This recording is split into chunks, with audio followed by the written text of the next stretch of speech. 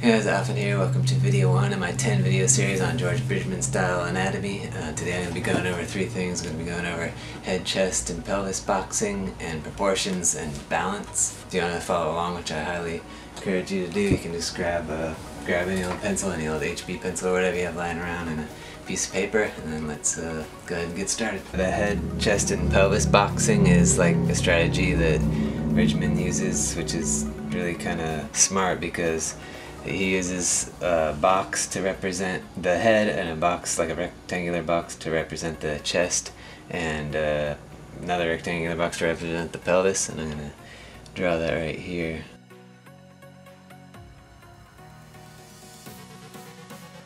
So this is head, chest, and pelvis boxing. It's basically starting and drawing with a block for the head, a block, you know, the size for the chest, and a block the size for the pelvis.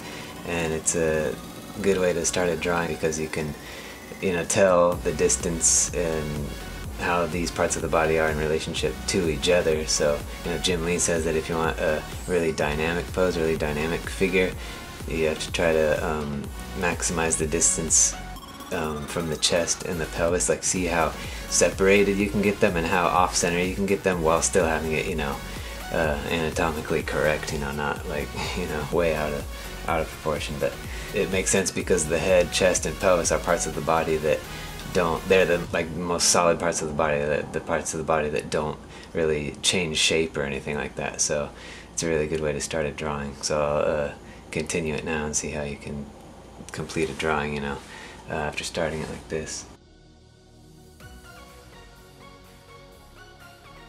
Yeah, so you can see how this can be um, this can kind of become, you know, the figure, you can use this so the chest would be facing, you know, out this way, you know, the pelvis this way, and the face this way, you know, so you can kind of see how that works. It's really useful with uh, building the figure. I don't really know what I was doing with this arm here, but um, anyways, so that's how um, how you can really make use of that. And of course, you know, go go over those pages in the book if you happen to have purchased the book, but Anyway, move on to the next section. It's now into part two, proportions. Um, it says on uh, page 10, and a quote, Bridgman here, it says, If given proportions were used, even though these proportions were the ideal average, they would result in a drawing without character.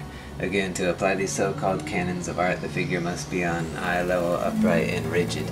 So what he's saying is if you measure everything out, every drawing, you know, it's gonna be, it's gonna make the drawing probably look stiff, you know, almost for sure. So there's some examples here about, of, you know, about how many heads high you can draw a figure, you know, from, I guess, a straight on view. As soon as you change the angle and direction, it's not gonna, you know, be exactly the same amount of heads high. But it, I guess a seven and a half is a popular one. It says Michelangelo did I guess his figure is eight heads high, and I've heard a lot of the comic book artists say nine heads high is for like a big, you know, bigger character.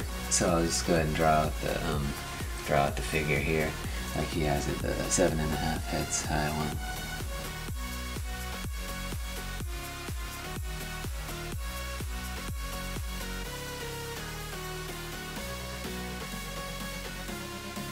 So here's the male and female seven and a half heads high, and it, it shows the the female a half head shorter than the male, but I just drew them the same same height here. On the next page it shows a Bridgman figure, see, seven and a half heads high again, but not standing perfectly straight up, so kind of changes the proportions a little bit since it's not perfectly straight up, but I'll go ahead and draw that one right here.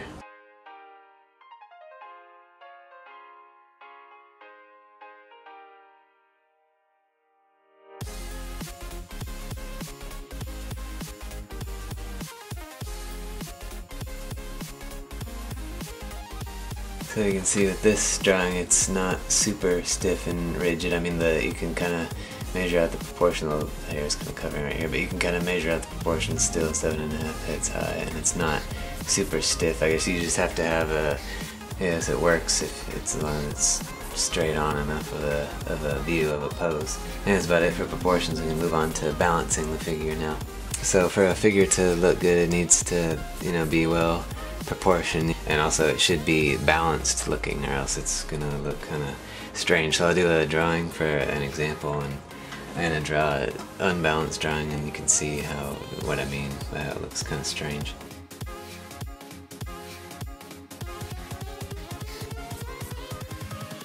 Alright, so I drew this figure um, leaning backwards and it looks kind of strange because it looks like you just look at this look it looks like he's just going to you know slowly fall backwards because the for a figure to be balanced it you know every figure has a center of gravity line and it needs to be either going over um, one of their feet or between the figure's two feet. So the center of gravity gravity line would probably be about about right here.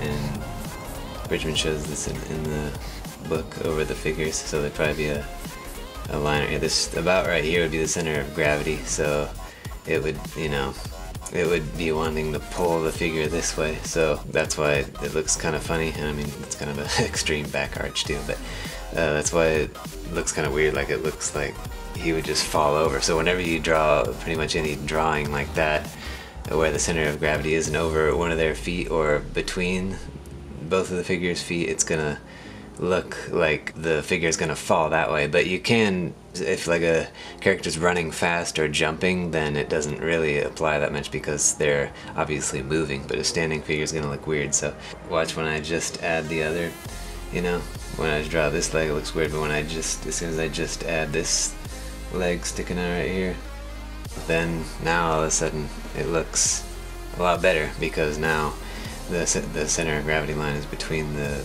the two feet so now I kind of drew that foot kind of bad but the, you get the idea. So now you know it looks like okay now he's balancing himself. So you have to make sure the you know the center of gravity is you know like I said between the feet or at least over one of the feet. So I'll draw another example right here.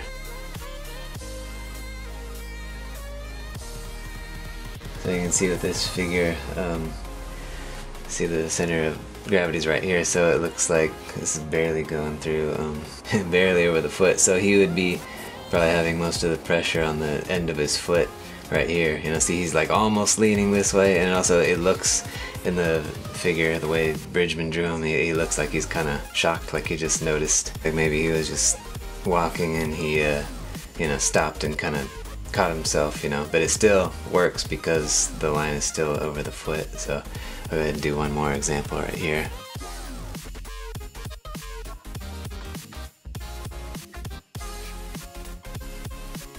Alright, so this one looks like he's leaning for like he would probably tip forward. The center of gravity line probably about you know, about right here somewhere.